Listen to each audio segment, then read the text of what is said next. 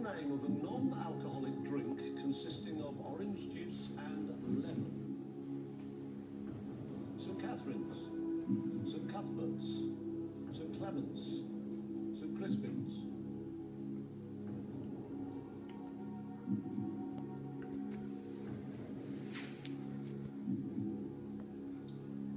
I think I'll use a lifeline on this and I'll go with ask the audience. Right, audience, on your keypads then, please. Serious business. This £4,000, first lifeline that Thomas has needed. Uh, this is the question. What is the name of the non-alcoholic drink consisting of orange juice and lemon? Now, A on your keypads is St Catherine's, B is St Cuthbert's, C is St Clement's, D St Crispin's. A, B, C, or D, all vote